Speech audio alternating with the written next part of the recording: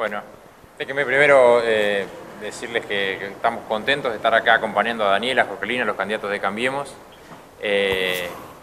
en donde se hizo una gran elección y que sabemos que, estamos confiados de que se va a ratificar una muy buena elección ahora en, octubre y que seguramente ha tenido que ver con el trabajo que han hecho ellos y con el trabajo también que viene haciendo la provincia de Buenos Aires,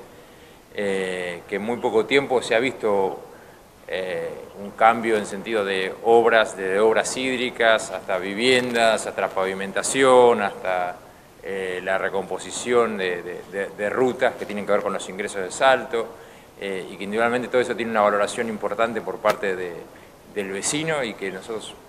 valoramos absolutamente el respaldo que ha brindado el, vecino a, esta, fuerza política en las PASO y que confiamos que, que va a haber una gran elección también en octubre. Nosotros hicimos un simulacro hace muy poquito del escrutinio provisorio que tiene que ver con eh, eh, hacer lo mismo, simular el, escrutinio que se va a hacer en, el mes de, ahora la elección del 22 de octubre, eh, con la participación de las fuerzas políticas, de los fiscales de todos los partidos, para que todos puedan ver cómo es el proceso y para que no haya ninguna duda. Lo importante aquí es que todos estemos confiados de que el proceso electoral es absolutamente abierto, transparente, que puede ser controlado, que puede ser auditado. De hecho, en la última elección hubo 178 fiscales informáticos de todos los partidos controlando y auditando cómo se llevaba adelante la elección, cómo se iban cargando los datos, y excepto alguna denuncia más mediática de, Unidad Ciudadana, no hubo ninguna denuncia formal respecto de alguna irregularidad eh, en el escrutinio. Eh, de modo tal que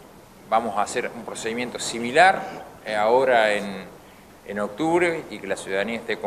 tranquila de que, efectivamente se ha, hecho un, proceso muy abierto, muy transparente, muy auditado,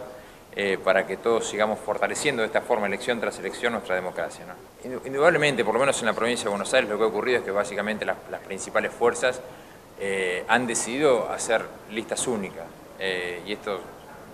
lo vimos a lo largo de toda la provincia, es una decisión de los partidos. Eh, entonces ahí comienza a haber un cuestionamiento respecto de si tiene sentido o no la paso a la hora de que no hay eh, tanta competencia interna.